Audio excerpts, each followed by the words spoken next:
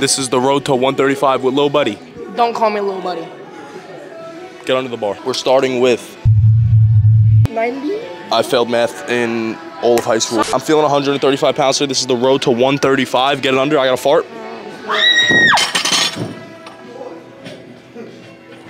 Oh, you just gave me pink eye. just ripped ass in his face on the bench. That's what brothers do, bro. You just ripped ass on my face while I was about to go for a bench, bro. Like I dropped it on me and man. died. That's the whole point.